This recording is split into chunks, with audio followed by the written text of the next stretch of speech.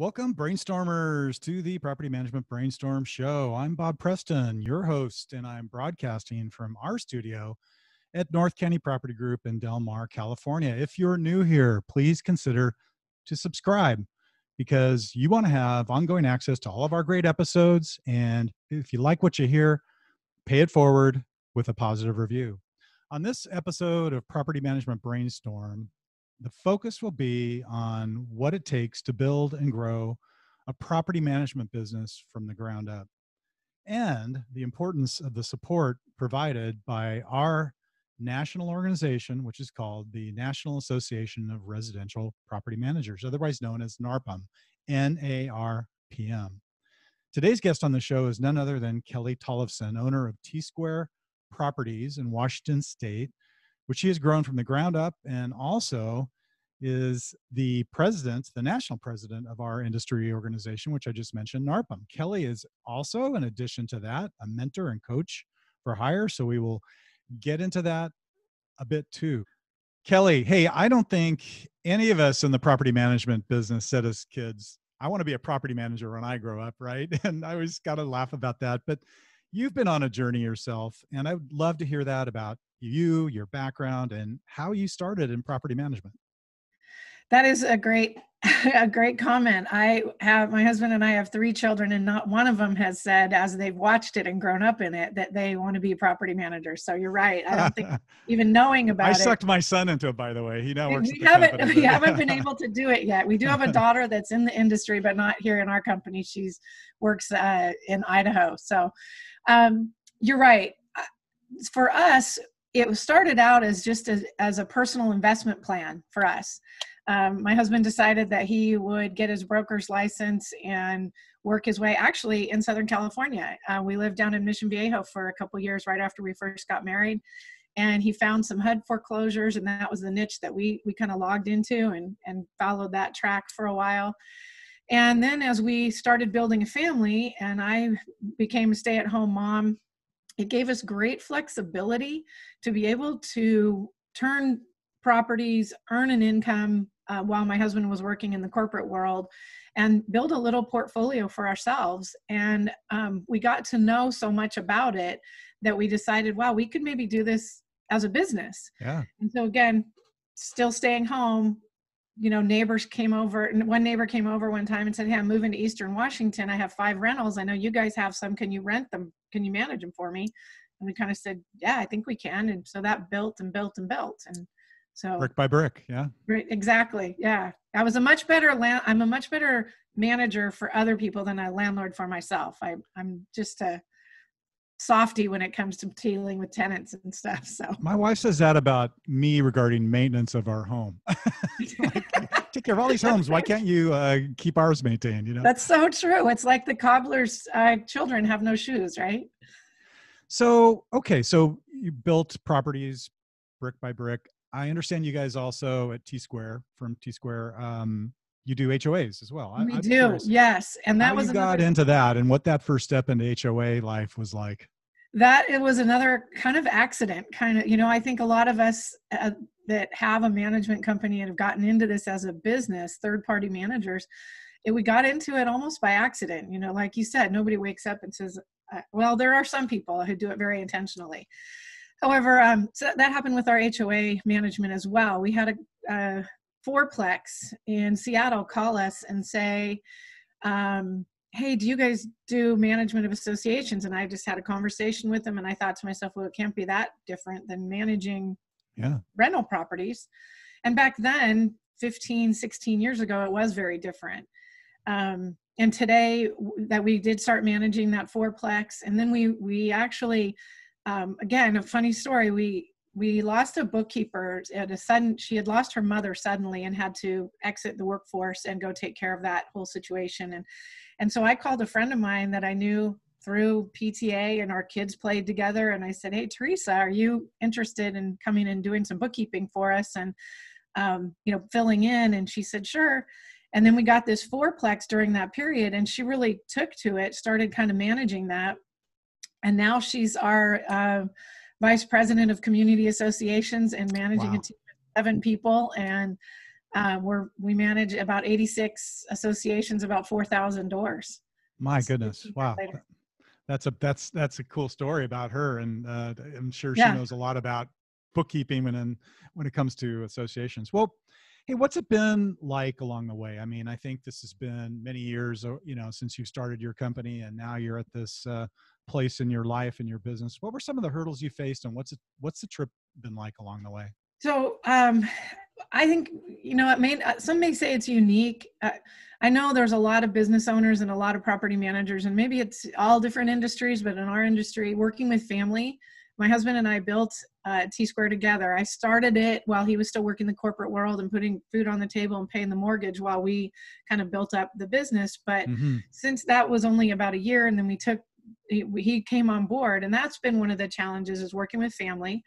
Um, you know there's definitely a fine line of communication and when do you stop that communication at home and keep it at at work and where does that blending come into play? And that's that's one of the unique things that i've experienced I think the other thing in building your own business is that it needs to take on your own your own personality. You know, everybody runs their businesses differently. You know, we talk about a portfolio style and then we talk about a departmental style. We talk about Mhm. employees or 1099 folks that work for you and uh, or W2 or 1099 folks. And I think it all gets down to what's your true style and where can you thrive and have your business thrive in those unique opportunities. Um, you know just in in my experience in the last year uh, being president elect and then this year president talking to different people um, you know just learning about how people are doing it. There's so many different ways to skin a cat if you will that uh, knowing knowing what that style is that helps you get to the next level i guess is probably one of the things i've learned Yeah, you know, I I like to compare to their strategies and tactics, and and those things are how you price, how you could you know do your pricing, how you Mhm. show properties, uh, what you do in terms of your accounting, um, how you communicate with the owners. All that's you know kind of your strategies and tactics, the basic blocking and tackling of property management. But I like to think that companies who have a solid foundation in some guiding principles or maybe personal values are the ones that really have that foundation that can make it through all the years and are built to last and weather the storm. And it seems like you kind of have that same philosophy. We do, um, and we actually went in. I guess if I had, you know, there's so many things that you you sit back after you've had a worked on your company and you've worked in your company for so long, and you think, "Gosh, I wish I would have known this sooner," or, you know, I wish I would have written down all the processes as I was doing them instead of like pulling my hair out trying to do everything all at the same time. And um, we have developed over the years guiding what we call guiding principles, and Yeah. basically for us, what it is is when you when you don't know what to do when you you can't decide or it doesn't it's not a clear decision what are our guiding principles and so we've got eight of them i you know they're on our website and we actually have filled out or uh, had our team come up with an, an acronym and it's actually meat ribs. And so it's um, mutual respect.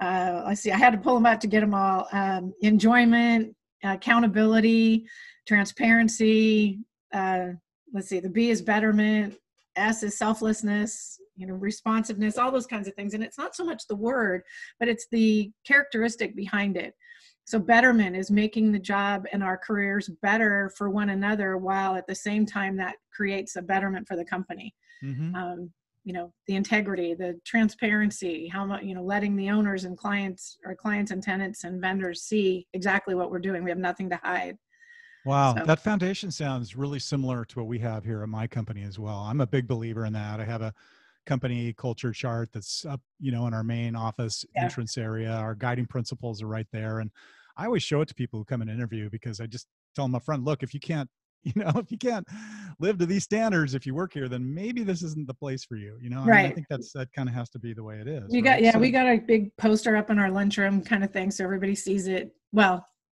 pre-covid everyone would see it every day when they Right. Yeah. Has that been part of the challenge finding the right people to fit within your company culture and your high standards?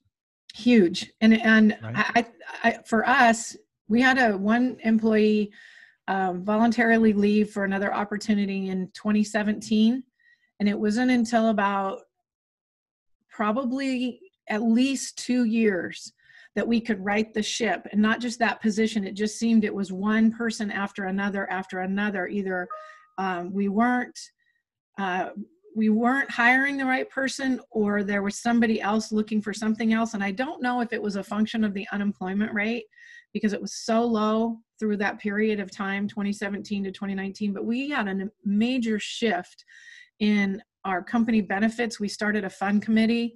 We really i really started focusing on culture because we were meeting the salary requirements of people but there was just something i'm not sure if it was us or them or what it was or the combination of everything but yes keeping the right people on the right spot the right seat on the bus has been really difficult. And i have to say right now of all the work we've put into it as a team and myself and the you know the books i've read you know the, the, the networking i've done within narpm and so on um, I think we're in a really good spot now to have a great team and we're all rowing in the same direction and we're all seeing the same vision. And it's really been hard work to get here, but I, every day I cross my fingers hoping that it won't, the, the apple cart won't get upset again. Yeah, the parallels that, you know, listening to you talk, the parallels between your journey and the journey I've had here with my company are so similar because you can, excuse me, you can have great guiding principles and values as a company, but it doesn't necessarily translate into culture unless your people are willing to take that baton and integrate it into the workplace, right? You can't just snap your fingers and expect your team to, you know, recite these values in this company culture at gunpoint, right? So, right. Um, yeah, I think the same thing. I think uh, one by one, though, if you can get the right people in place, then over the course of time, whether it's by osmosis or whatever, you're your company will just eventually ooze and and you know uh, emit this cultural that cultural and, and state of values that people can feel when they come into the company or right. even when they call on the phone right? Yeah. and so i get that now. I get i get people complimenting the company like oh my god your people are fantastic. How, how'd you find such good people? And well not easy right? It's yeah, a long long haul and a long journey and I think, to get there I think it's an upward spiral. You know, when when it just yeah. like the downward spiral happens, it's contagious both both directions. And I think um, one of the things I've noticed even recently with you know our big concern when COVID happened was people you know working from home and what was that going to look like? Because as company owners and property managers, I'm I'm a self-admitted control person, right? I don't like to necessarily freak, but I like to have control of things. And um, whenever now that everybody's home there's so much more communication going on. Um, like a leasing agent might be out doing a move in and she'll find something that's not going right or a move out and sees it. You know we she sent a picture the other day of this skanky looking shower floor and we could all chime in and she could feel a part of a team with our chat with the teams chat that we use. And um, you know there's a lot of humor going on. There's just the support. And i feel like now our team culture is so much stronger because we have this ongoing communication that wasn't there pre-COVID. Yeah, but you have the people in place now and the culture in place before COVID hit to allow that True. to flourish, right? Yes. And uh, I was really nervous about it as well. In fact, when COVID hit, I, I started having daily Zoom calls, you know, talk about being a control freak. I mean, every yeah. morning at nine o'clock, right? And then I'm realizing, okay, wait a minute, you know, these people are super motivated. They're all doing their job. Let's go to twice a week, you know, and now it's yeah. kind of back to our norm, which is a once a week staff meeting. Right. Hey, that was a really great snapshot into your background and your perspective on property management. I'd like to shift gears here and talk a little mm-hmm. bit about NARPM. So, yes, you're kind of the big kahuna here, right? You yeah. got the you know, the president of NARPM in the house, and we're so glad you're on the brainstorm. I would just love to hear what your take is on NARPM, and maybe you could just tell our listeners in the nutshell what NARPM's all about. So, NARPM, the National Association of Residential Property Managers, for those of you that aren't members, um, I have a girlfriend that thinks it sounds like a disease, NARPM, but it isn't a disease. If it is, I hope everyone catches it because it's, right. it's, it's one of the best organizations that I stumbled upon. I, I'll never forget, you know, actually, it was in this very room before we had an office outside of the house when I had a tenant I didn't know what to deal with. And I, you know, back, I think this was pre Google. I, I don't, it was 15 years ago. I don't even know what search engine it was. And looking on the internet for how, how do I get rid of a tenant or how do I find support as a landlord? And there were all these tenant advocacy groups. And I stumbled across NARPM at that time, and it was 2005 And I said, wow, this looks like a great organization. It's a landlord or, or management company support organization, right? And so I was able to get some information. I was able to get plugged into my local King County Seattle chapter.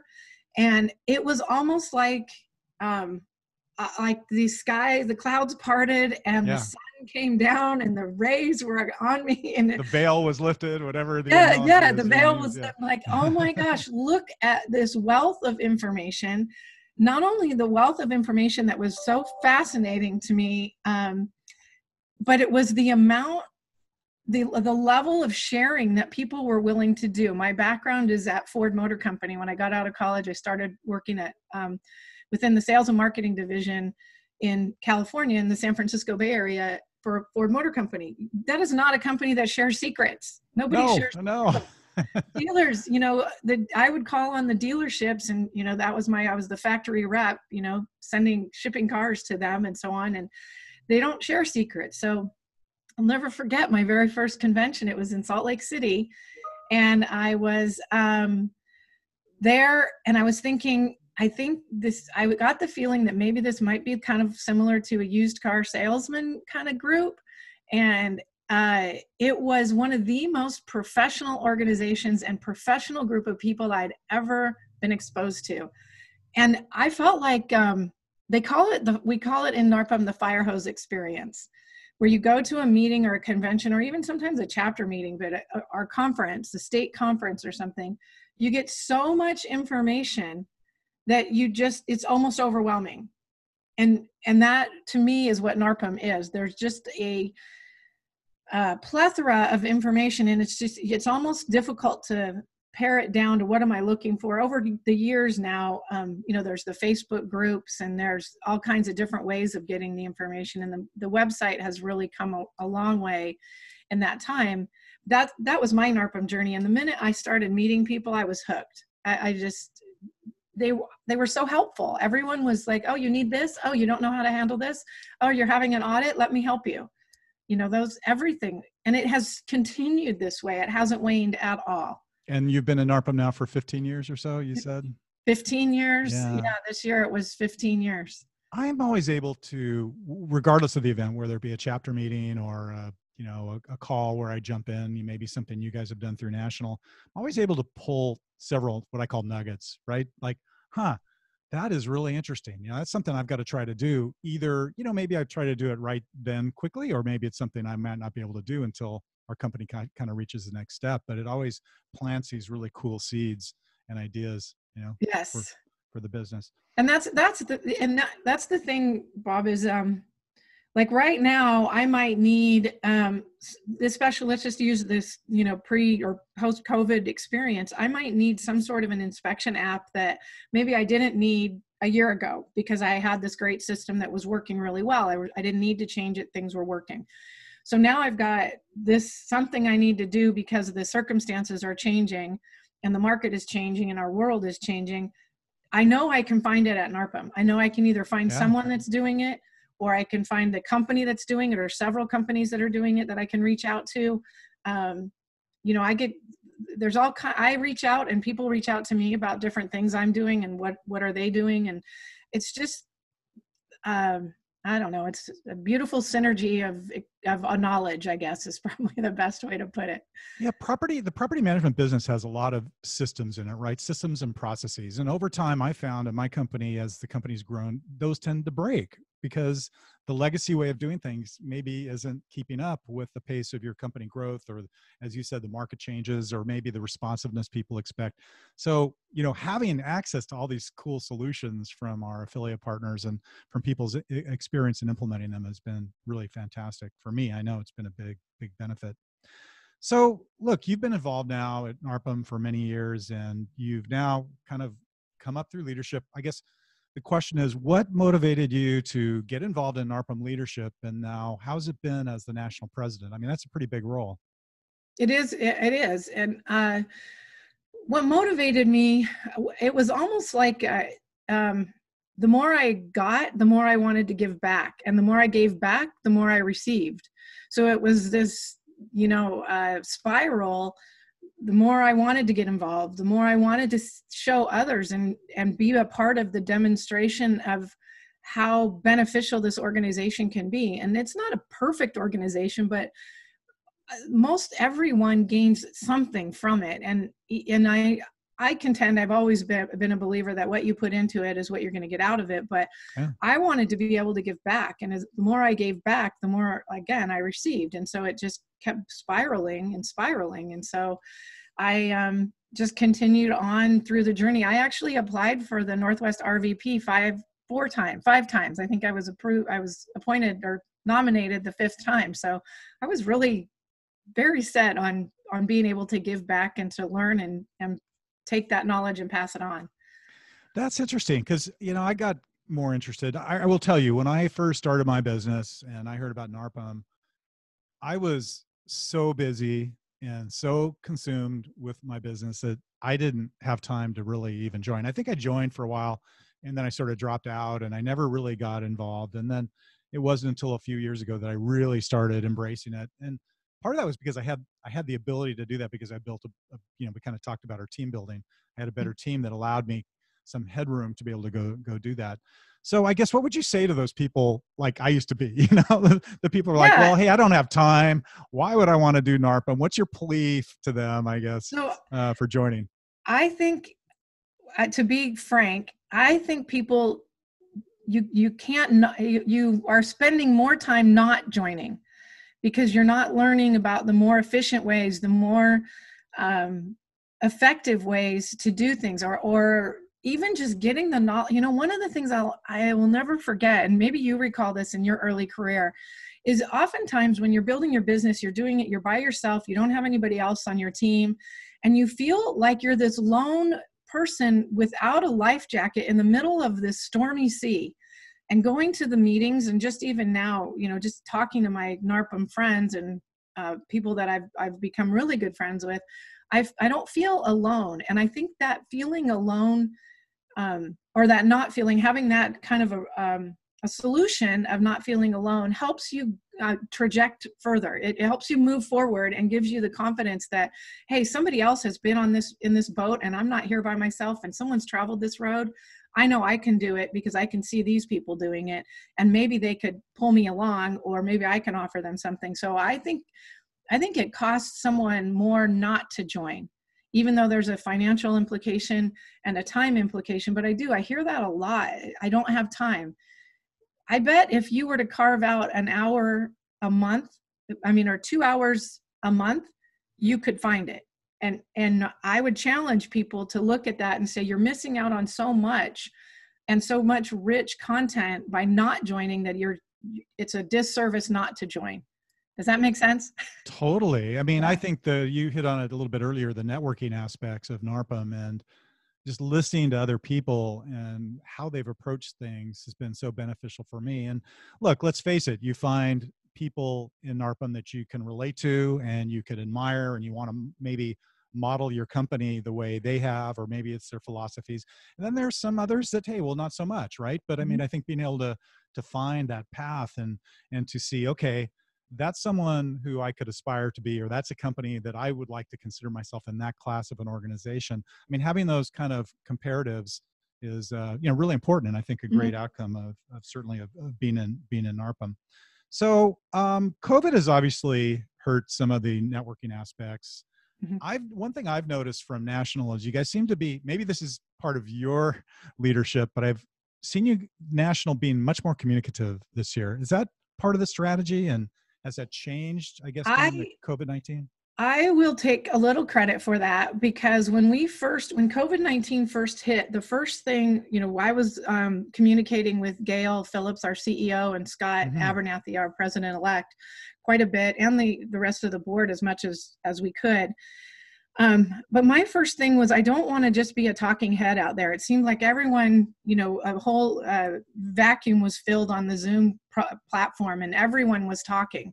And we strategically said, let's not do just everything everyone else is doing. Let's find, and I was, I don't know about you or your listeners, overwhelmed with the amount of information coming at me.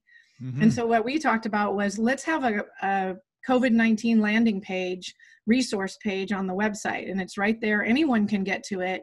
Um, and let's have members send their stuff in, or we'll we'll grab it and links from here and there. That you know there were podcasts and Facebook lives everywhere, and forums flying everywhere, and conversations everywhere. And to me, it was overwhelming.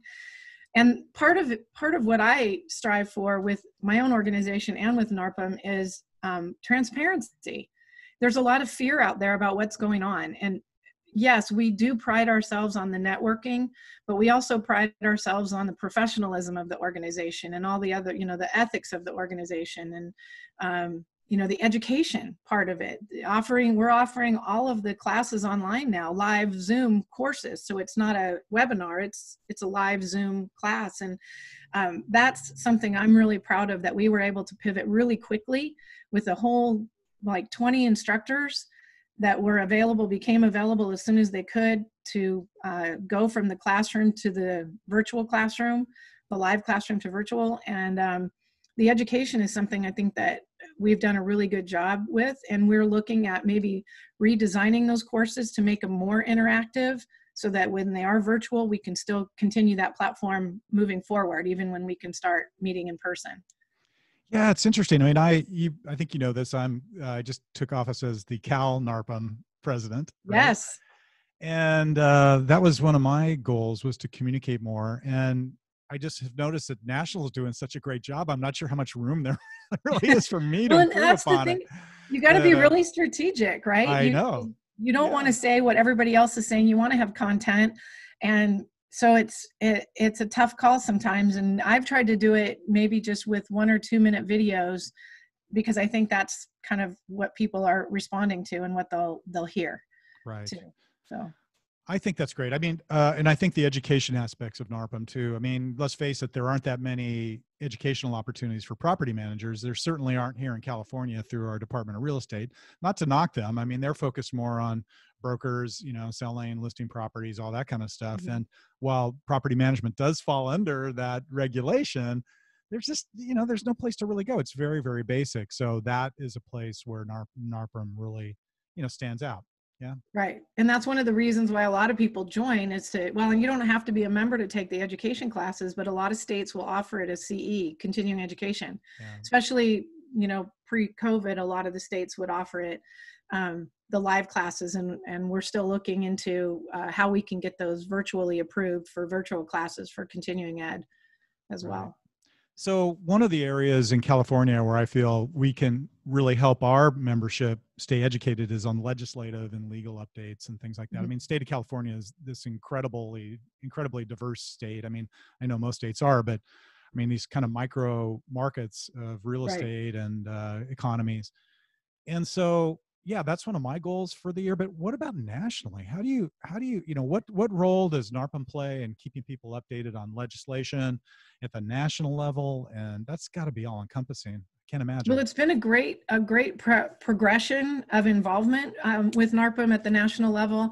And you know one of the well our our mission our vision, excuse me, is to be the recognized leader in the property management, residential property management industry. And so, in order to do that, we have to have a seat at the table, at any legislative table, right? Yeah. Especially nationally. So, we, over the years, we've hired a full time lobbyist, and now he has an assistant. And um, we are, cre- you know, we've created our PAC, our political action committee, and we're making donations to different um, campaigns that way and um, I think we're making headway. We're being recognized um, with with other large organizations to partner with. So, for example, NAA is now you know recognizing NARPM and has been for a little while as part of that fabric of uh, or the landscape of residential management. It's not just mm-hmm. all apartments. There's you know millions and millions of single family home rentals out there and we represent sure. as property managers managers we represent it um, and our goal is to is to understand what's going on to advocate for the property rights that that we believe in as property managers and um, you know make sure that that we're educated as managers as well on on the legislative items going on so is HUD a big point of contact with you guys? Have you met? Ben? It has become over the years. yeah, it's been actually last year. Uh, we didn't get to have a live legislative conference this year, but last year, yeah, we sat down with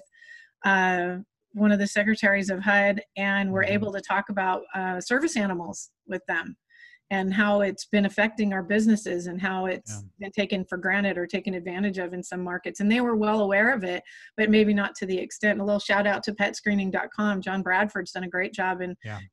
you know developing statistics that HUD can use in that arena. So it's been it's been great. So you're at the national level. You have, you know, the association uh, across the country. Where exactly? I mean, I, I kind of let a leak. I'm the president of CalNARPM, but where does the local chapters, you know, kind of the regional city chapters, if you will, fit in, as well as the state chapters within NARPM?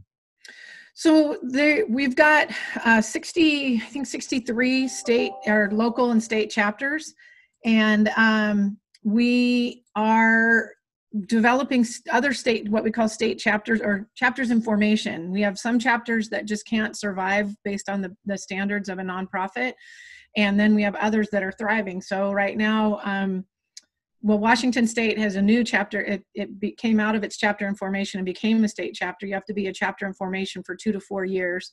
Colorado is one. I know arizona is working on it.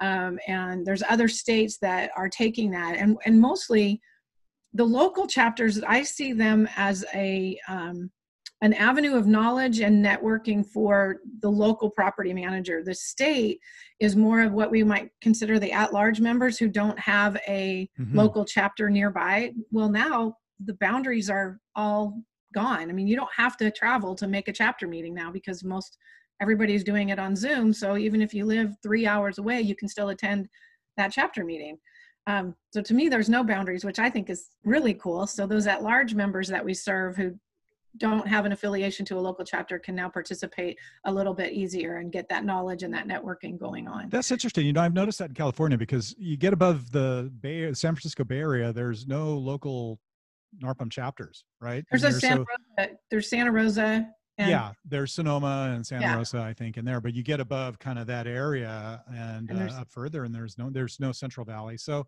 Right. Yeah, I think there's a big need. Exactly, kind of what you're talking about. I see it as a great advantage. Uh, this, you know, if you're looking for silver lining, is that we can take these uh, this information that we and our platform, if like our networking and our education and our professionalism and all that stuff, and it is just can go anywhere now.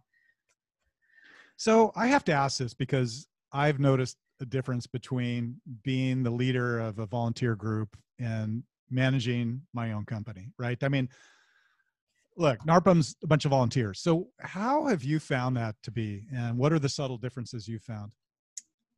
You know, um, I think, well, first of all, a volunteer can just walk away without any repercussions, right? Your your your employees can too, I guess, or your team on, on with your company can too. I just I think that I I really honestly haven't had much of a difference with the volunteers that I work with and and maybe it's because the ones I'm in touch with are so committed right it, it's all i don't know it, it's like you drank the kool-aid and you want it the best for the organization and you know that's why you get a salary is you do your best for the company you're working for. The return on the narpm side and maybe i've got rose colored glasses on and i'm not seeing everything but I just see a lot of people that are really committed, that are dedicated to making NARPM as best as it can be, and not even just on a global level, but those they come in contact with right? That you're you know you're moving into this position because you want to affect as many people as possible to have the knowledge that you have so that they can make their lives better right and easier and yeah. more fun property management is way more fun with narpm than it's not That's interesting. I, I find myself in preparing for our meetings and whatnot, I find myself being almost more organized for the NARPM organization and our meetings than I am for, within my own company, right? I mean, I could I could do our own company almost blindfolded, and so I find myself just wanting to be really respectful of people's time. I think that's one aspect, and and being super organized when I bring them all together, so yeah. I don't I don't you know waste a bunch of their time um, but you know sometimes like like we've talked about people are there for the social aspect and the networking and you got to kind of got to let that fly too where is maybe within my company i would right there are I, I, think there are some some different I, I guess i was looking at it as how i how i see the people I work with on both sides, you know, the nonprofit or the volunteers versus the employees. And I, I I'm seeing a lot of volunteers that are just ready, willing, and able to give back. And it's it's really inspiring for me. So that's amazing. Now, what about community service or giving back? You you, you just kind of mentioned giving back to NARPM, but NARPM's doing some things as well, right? Can you tell right. us about that? So, yeah, so every year, it's about, I think about 10 years ago, the past presidents came up with an idea to do a, a charity and golf outing, to pick a, a, past president's charity and golf outing. Two years ago, it started with Eric Wetherington, our immediate past president, where he actually got to pick the charity because he was the one going around the country talking about it. And rather than the past presidents picking it, let's let the president pick it. So I got to pick uh, the Alexander Hamilton Scholars, and that's an organization. Wow that bridges the gap between um, college or high school and college for kids that are you know outstanding achievement community service and giving back to their communities but don't have the means to necessarily get to college. And it's not a scholarship program it's more of a mentor and education program. And they they join a cohort right out of high school and they go with this cohort all through college and into career. So it's uh, it's really been a it's just like alexander hamilton started from nothing and built his himself from nothing. And this is just a little step up and and instead of a handout to these kids. That's incredible. Um, really great um yeah really great charity and worthy cause. Maybe some future property managers in that mix who knows you know? Or maybe um, there may be. Our company owners or i'm not sure. Um, you know one of the other things i'm seeing a lot of bob with the local chapters is they're doing their own local chap local charities you know whether it be a food bank or habitat for humanity um, those kinds of things a lot of the local charity local chapters will pick a charity for the year and focus on it. Um, and that's been really impactful across the country. We don't hear about those as often as we do obviously the national national charity. so i want to talk uh, if we can shift here a little bit i want to talk about a couple of events that are coming up that are mm-hmm. that are brought to us as part of the membership through through narpm one of them is the national convention that's coming up. Now you one of the big events of the year is the broker owner conference it's intended for the owners or the people who are running their businesses. That got canceled right? Mm-hmm. that was early on i think in april within the pandemic and you know good on national for can- canceling that. I don't i don't think there was any choice on that one but we have another one coming up i believe in october right which is the national yes. convention. Right um, scheduled for amelia island in florida. Florida is one of the hot spots. I know you've mm-hmm. done a, a virtual alternative to that. Maybe you can tell yes. us about what's what's going to happen what your expectations are how do you think it's going to go? I'm just kind of curious to hear hear you talk about it. Yeah so we're you know i'm sure like many organizations out there uh, we're we're planning for what we're calling a hybrid event um, where we would have those that want to travel and participate be there in person and then those that don't and can't or you know it isn't possible you know not just because of the disease necessarily of covid-19 but maybe it's because their kids are having to stay home and be um, schooled at home and so they can't get away and so on. So there's all kinds of repercussions as to why. However, we're really excited about offering the virtual component of the convention. Um, we're working with all of the speakers that we, we we're planning on having at the convention. We actually have been in touch with Daymond John, who had agreed to move his appearance from the broker owner to the convention. Right. So we're working with that. Um, and we're looking at, we've invested quite a bit um, in finding a platform that will facilitate an optimal experience and give us the everything that we look for. And I, am not going to sugarcoat it and say it's going to be oh it's just the same as being there in person. It's not. We, right. it's just not a way we can i wish we could make that happen. And um, as far as the virtual component isn't going to feel the same as being there but we're going to do our best and we're working with uh, different uh, vendors to make that happen as best we can highest what's level. the, what's the registration been like so far and what's the split been between you know in-person attendance and and virtual? Do you know yet? You know i i don't have specific numbers on that. Um, we are actually having a board meeting on thursday and i will have those details then. I know there's been lots of registrations on both sides. I just don't have those numbers for you yeah. today. I'm sorry well i can tell you cal narpm's eagerly watching because we have our our conference, our state conference, at the end of May, uh, March in 2021, and we're yeah trying to figure out what to do. It's scheduled for Napa Valley, California, um, but you know, gosh, are we going to be able to pull that off live, or do we go all virtual or, or, or hybrid? I mean, these are all questions yeah. we have to answer. So we're eagerly awaiting um, kind of to follow, hopefully, the lead of national. Hey, there's also this cool event coming up. Uh, gosh, in just about a week on the 24th and 25th of August, which NARPM yeah. is sponsoring and hosting. Yeah. The PM Leadership Exchange. Tell us about that and why should people think about attending? So the PM Leadership Exchange is uh, kind of the sec- I don't know how many of your listeners have been on any of the Second Nature um, leadership or PM Exchange events. They started right in April, and they did about three of them, and then they've done a couple other uh, mini events.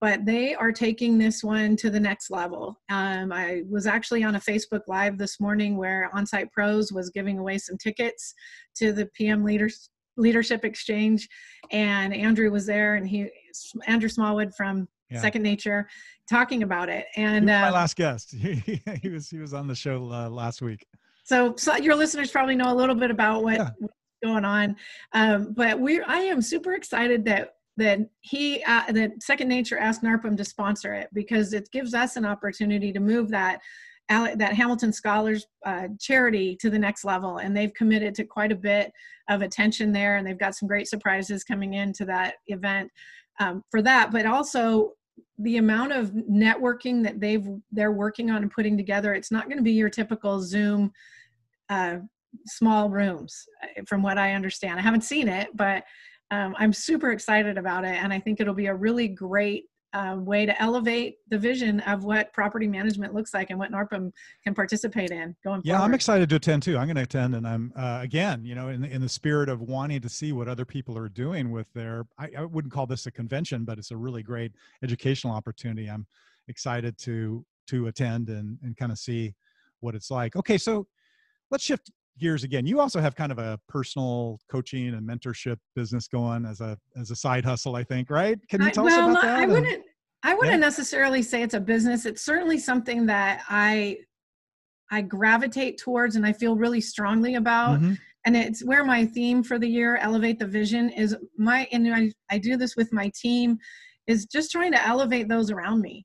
Um, anytime i can offer some uh, feedback, advice, information, experience, whatever it is that somebody comes to, to me or I see need, as a need, I don't hesitate to jump in and I'm, I'm happy to, to give, you know, my advice and my knowledge. It's something that I've, I've thought about when I saw that question or when we talked about it earlier, I thought, well, he's reading my mind because I'm thinking that's something I'm going to do post NARPM career. So, so yeah. Well, good for you. So hold that thought, I guess, if you're interested. Well, actually, Kellie, you've been pretty uh, forthcoming and like, hey, if anybody wants some help, you know, approach Kellie. Seems pretty open to that. And God, your background and your knowledge and everything you've been through in building your business. I mean, you've got this great DNA and this great fabric of your culture. So I'm sure you could help, you know, a lot of companies in that regard.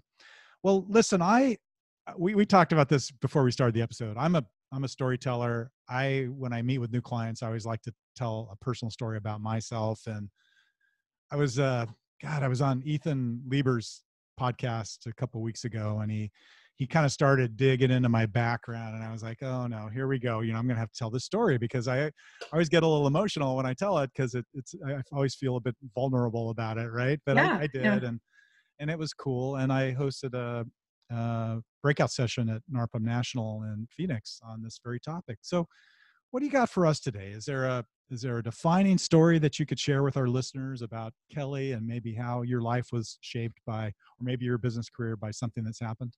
Well, actually, there is, yeah, and I don't, I don't get into it very often, at least the the origin of it. But um, back when I was a young girl, um, and it, I just won't take that long. I'm not going to go through all the years of my life. So you're good. We want to hear it. so when I was uh, 12 years old, my father passed away from bone cancer, and I guess in today's world, maybe there would have been a better treatment and so mm. on. But this was in the early mid 70s, and of course it was shocking. And then a year later uh, my, my father had been sick for a year so it wasn't unexpected that he would pass. But at age 11 and 12 yeah it was he didn't understand that.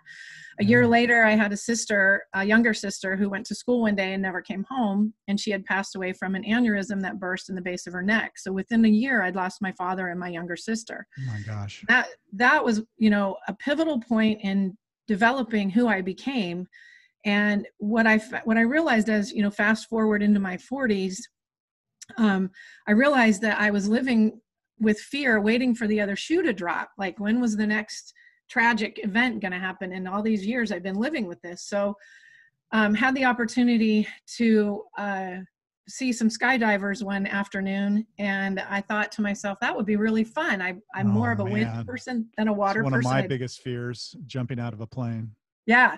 Well like i told you earlier i never would have jumped out of that plane. I did a tandem jump and that guy behind me that i was attached to he pushed me because i would never have jumped. I, I just would have gone back down to the ground. However once i did it and i once I was in the air and I realized I lived, I was, I have never been as afraid as I was sitting at the door of that plane. And, you know, I remember looking back at the expert dive, you know, skydiver that I was attached to just with carabiners and he had the parachute on his back. Um, and I said, you've done this before, right? And, and then he just, we just scooted out of the plane and off we go. I get scared just thinking about it, right? And once I did it, it just unleashed the opportunities that I had been afraid of prior. Mm-hmm. And I thought, well, if I can, so many times my mantra became, if I can skydive or jump out of a plane, I can do this.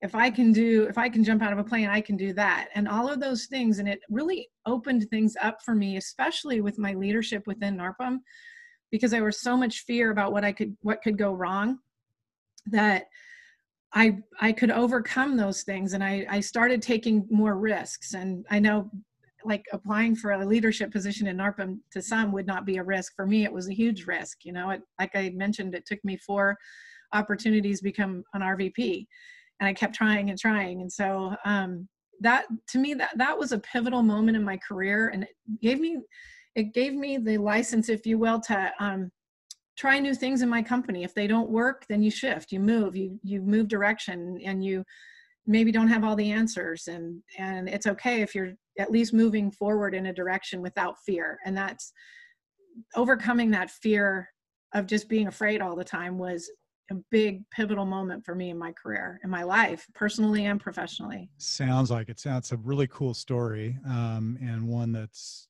you know shares a little bit about yourself and the, the things you're able to do now because of having that experience. I have to ask, what was what was like the first five seconds like? Because to me, this is terrifying. I would I don't think I'll ever do it. So when, you, when you were in the air falling out of a plane.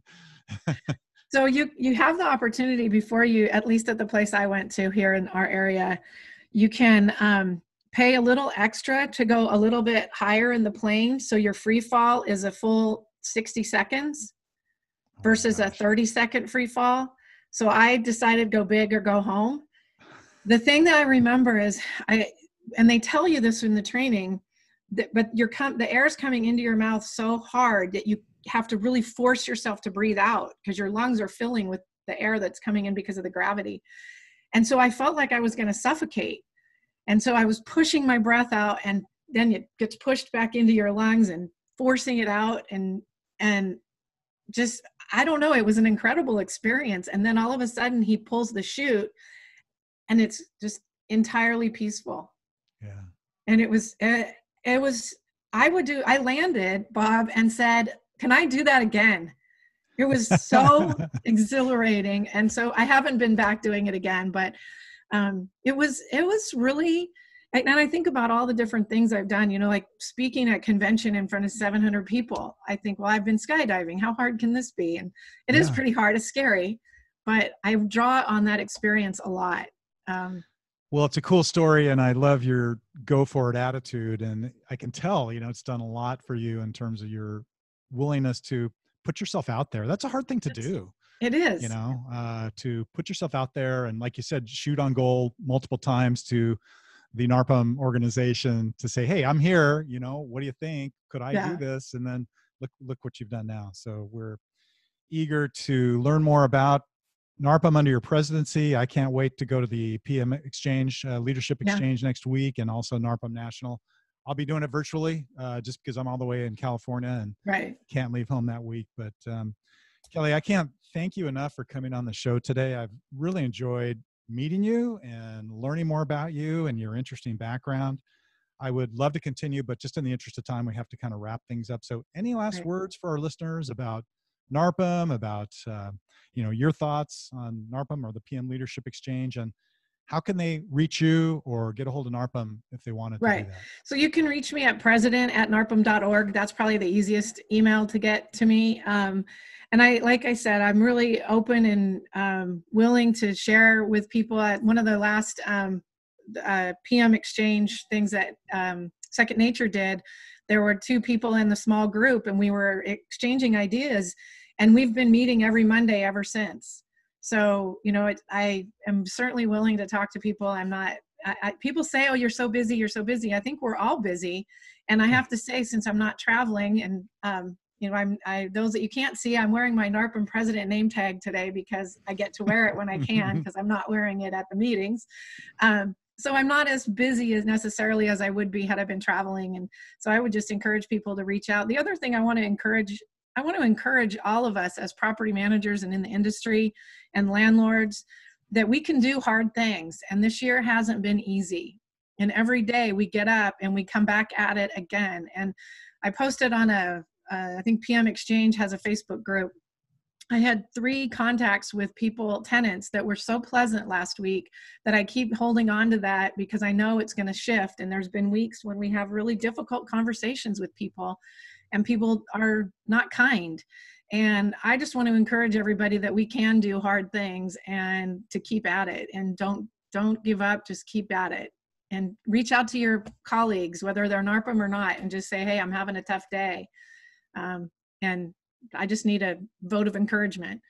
So Well, gosh, I, it's really inspiring to me to hear you know hear you speak. Um, can't wait to um, hear more from you, and I hope we can maintain this connection that we've yeah, made here today. absolutely. Yeah. And look hey, forward to it. another another uh, kudos to you. You're now a brainstormer. You're an official brainstormer. You've been, Oh yay. you've been on the brainstorm show. So thank you so much for joining today. Really appreciate you coming on. And as we wrap up today, I'd like to make another quick plug to our listeners to please click on the subscribe button and give us a like and pay it forward with a positive review because that helps encourage more great guests like Kellie to come on the show. And that concludes today's episode. Thank you for joining the Property Management Brainstorm Show. Until next time, we will be in the field working hard for our clients to maximize their property value and income and maintain top tenant relations. And we'll catch you next time.